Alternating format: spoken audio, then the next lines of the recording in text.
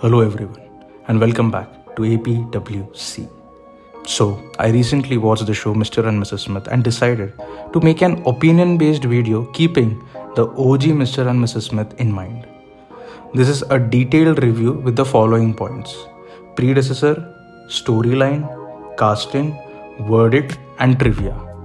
These points are curated in a way that will surely help you to decide whether you should watch the show or just skip it. So, without wasting any time, let's begin. Ready.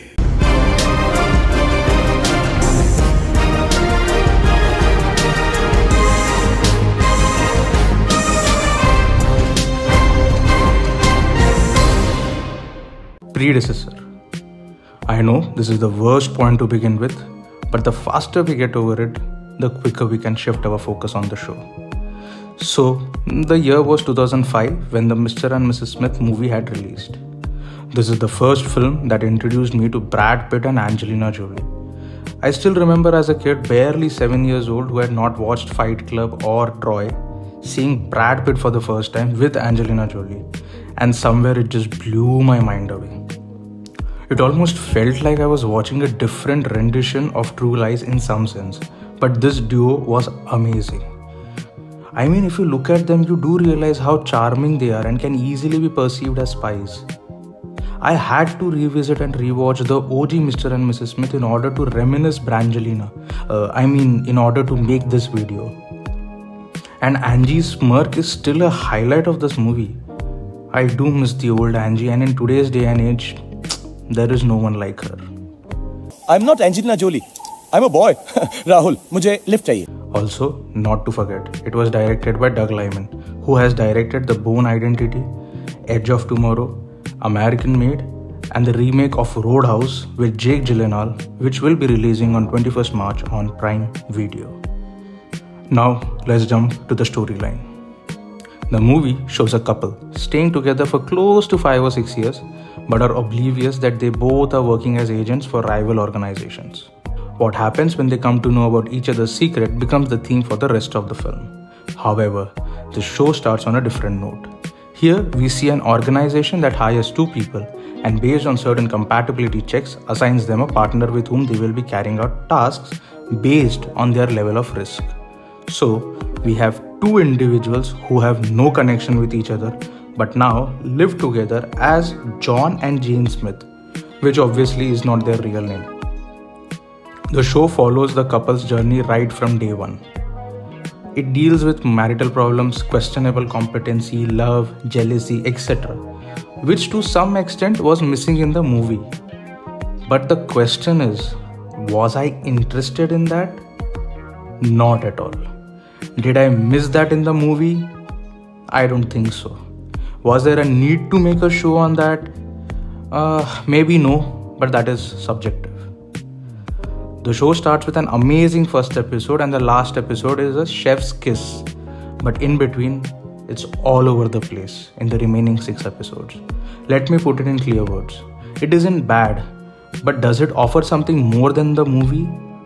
Well, again, that's subjective. You can fast forward a lot of the stuff and you will still know what is happening the jokes don't land at all at times, but when it hits, it doesn't last long. That's what she said. this is a serious rendition but becomes monotonous and one toned from the second episode itself.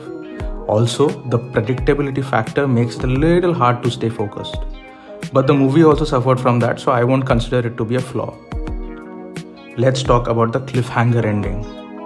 This may be a spoiler, so if you haven't watched the show, you can jump to the next timestamp in 3, 2, 1. So, apart from the main John and Jane, there are multiple such John and and one such couple is assigned to terminate our John and Jane for three failures. The duo, although, kills the other John and escape to a safe room. But in this process, our John gets mortally wounded.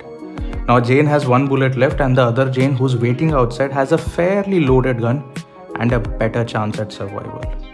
Now comes the cliffhanger. Jane opens the door and outside the building we see three shots being fired. Now, there are two possibilities.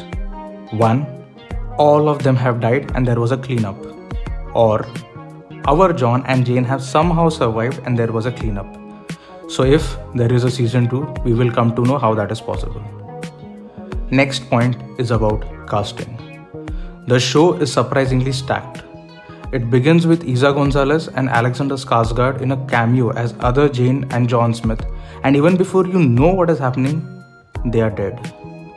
Apart from Donald Glover and Maya Erskine, as the main John and Jane Smith, we have Wagner Moura, the guy from Narcos, and Parker Posey as the other John and Jane who have chosen a super high risk level. Then we also have Ursula Corbero as Rooney, and she is hardly there for 5 minutes. Paul Dano as the neighbor, who is an agent, but a real estate agent. Michaela Coel has a substantial role in the 7th episode. But Donald Glover is not only playing John Smith, he is also an executive producer who has written the first and last episode and directed the last episode as well. From all the 8 episodes, in my opinion, the first and last episodes are the best, and now we know why. I must say, I never thought Donald Glover could play a spy, but he does that with ease. Verdict So, I can give the show 3 out of 5 stars. It's an easy breezy watch and nothing too dramatic or mind blowing, but somewhere the show has a drop and then stays there stagnated. The writing is good, and some may even consider it to be smart and subtle, but it does feel stretched at times. Now, let's move on to the new segment Trivia. So, in 1996, there was a show called Mr. and Mrs. Smith, which had 13 episodes, and out of those 13 episodes, 4 were unaired. This show was the inspiration behind Mr. and Mrs. Smith, the movie that was released in 2005. Post the success of the film, a pilot episode was created with Martin Henderson and Jordana Brewster as John and Jane Smith in 2007. This pilot episode was supposedly to greenlight a spin off television series which takes place six months after the end of the film. It was written by Simon Kinberg and directed by Doug Liman, but the TV series never came to light. ABC decided not to commission the series. Now, the year is 2021. Amazon Studios announced that a television series reboot based on the original film starring Donald Glover and Phoebe Waller Bridge was in works. Phoebe Waller Bridge, who is the creator of Fleabag, which is an amazing show, had worked for six months on Mr. and Mrs. Smith but left due to creative differences.